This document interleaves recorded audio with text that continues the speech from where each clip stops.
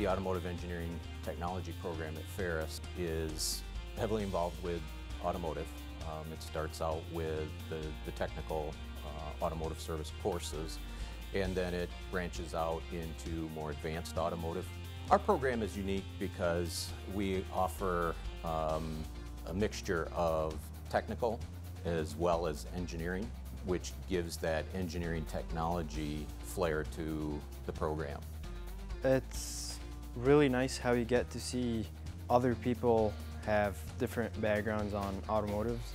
I mean, some of them really are experts in the automotive field and having some of these as my lab partners was really amazing. Not just because we got through the labs easier, but they actually taught me in addition to the professors teaching me. Ferris is unique in that we are like engineering used to be long ago hands-on. The lab portion of it, it's basically hands-on and you get to deal with real issues that happen in the car and especially for the service floor, um, you get to see real cars of customers and work on real problems that happen. We're taught more of the diagno diagnostics of the car. Customer will come in and say, I hear a clunky noise when I brake or I hear a hum when I'm accelerating and, you know, so we have to, one, go on a drive, test drive with the instructor to verify the problem.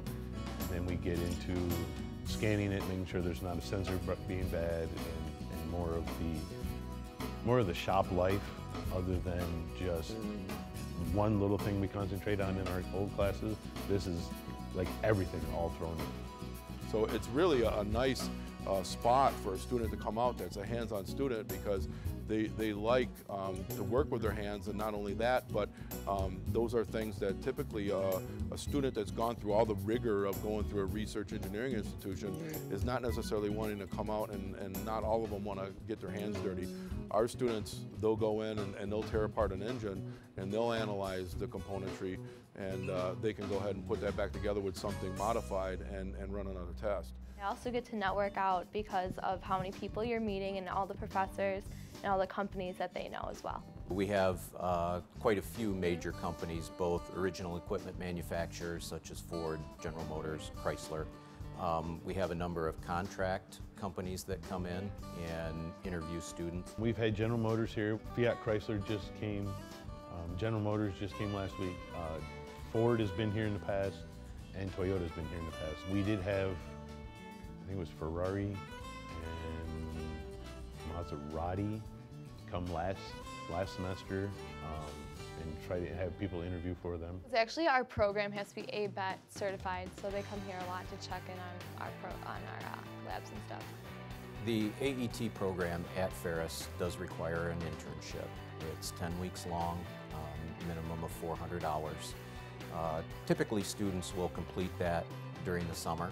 Um, but we do have some students that opt to take a semester and do their internship. I wasn't sure my freshman year and being third year, I'm really excited and meeting with these companies, I feel good about myself, I feel good about my education and good about the people backing me up. My goal is to really achieve a full-time job as a chassis engine tester, engine dyno tester. Automotive engineering technology guys can go to work in a dealership, they can work on the service floor in the dealership, they can work in the technical side of the house, anywhere. I mean, you can work for Toyota, you can work for General Motors, you can work for Fiat Chrysler. Um, the sky's the limit as long as you know you have the drive to put yourself out there.